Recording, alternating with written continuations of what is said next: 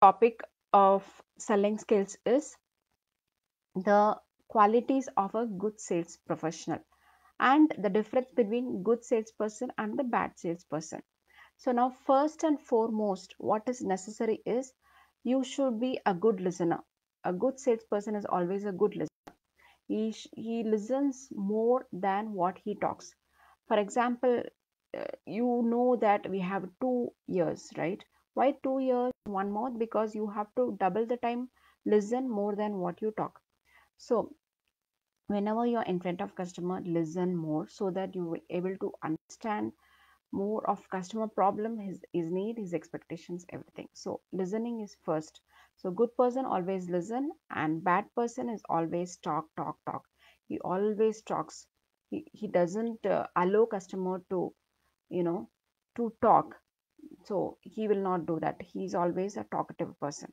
That is a bad salesperson. And number two is question.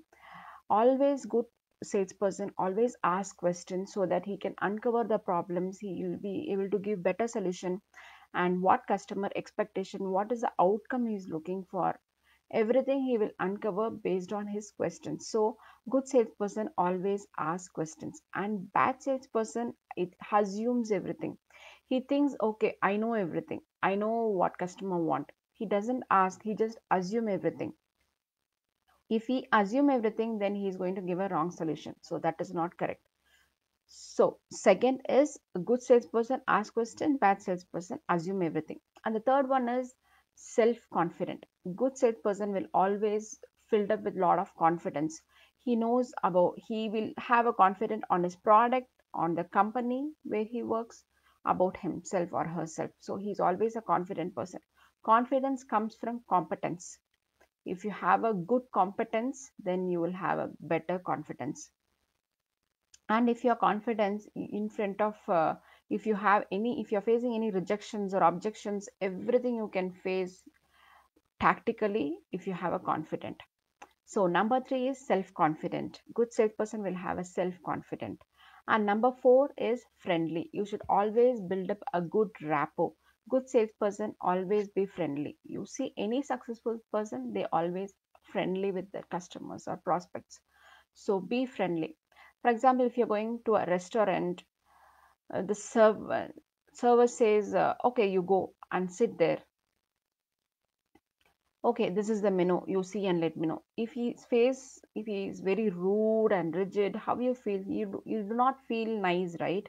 Same way when you're talking with customer you should not be rigid or rude. You should be you should be at smiley face and pleasant face so that customer will be comfort in talking with you. So good salesperson is always be friendly and bad salesperson is always rigid and rude and the fifth one is manage pipeline and follow up good salesperson is always behind customer always he follow up. Until he close the order he keep on following up. But bad salesperson he just uh, you know expect prospect to come to you. He expects prospect is going to follow up with him or her. That is a problem of a bad salesperson. He just sit ideally. He doesn't do any work. He just expect prospect comes to him reach out to him and give the order which is not possible you have to follow up with your prospect and the last one is the good salesperson will never give up. He is unstoppable, unshakable. Any objections, he is going to face it. You know, the more objections you get, feel good that you are going to be closer towards the closing the sale.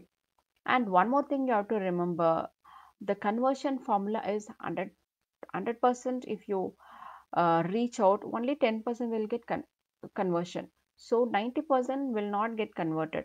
That 90% if you're getting rejected you should not feel bad because that is a formula. You should be prepared your mind to accept the rejections. So a good salesperson is unshakable unstoppable and he never going to give up. A bad salesperson he always gives up. He he always having a fear of failure fear of anxiety fear of facing the rejections okay so you decide you want to be a good sales professional or a bad sales professional. I am having a international live webinar where we are going to teach from ordinary sales professional, how you can become an extraordinary sales professional.